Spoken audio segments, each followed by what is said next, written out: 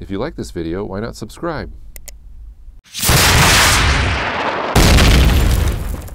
Okay, today I'm going to show you how to mix uh, video clips with different frame rates within Sony Vegas Pro 12, although this should work with any version of Sony Vegas.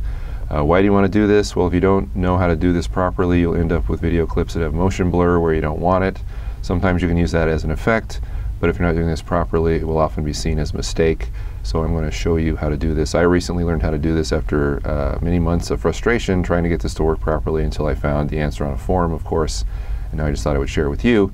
Uh, the first thing you want to check within Sony Vegas is this. This is your project video properties icon right to the upper left hand corner of your preview window. You can see what your defaults are at.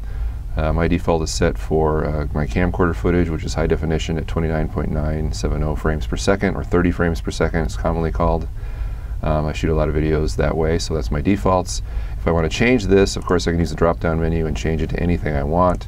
And then this box down here will set the defaults, start all new projects with these settings, hit OK. Those are your defaults. Now if you drag a clip that's not 30 frames per second or is it different in any way, such as this one, when I drop it in, it will ask me if I want to set my project uh, video settings to match this media. And if I hit yes, uh, my clip drops in, and then when I go back to check project video properties, notice it's changed to 24p or 24 frames per second, 23.976 frames per second. It's the same thing. I can also use this icon here to match media video settings, which will allow me to browse for a clip.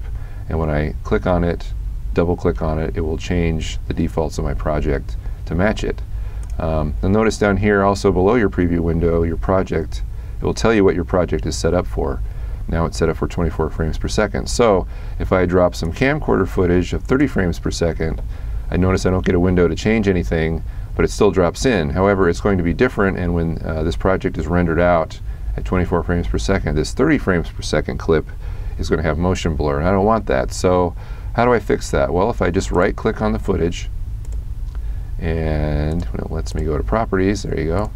Um, I want to click on this button here, which is disable resample, and hit OK. And that's really it. Now when the project renders out, um, with the resample disabled, it won't give me that motion blur, and I'll have a video where both clips played at different frame rates will both look normal, and everything plays nice together. Game over.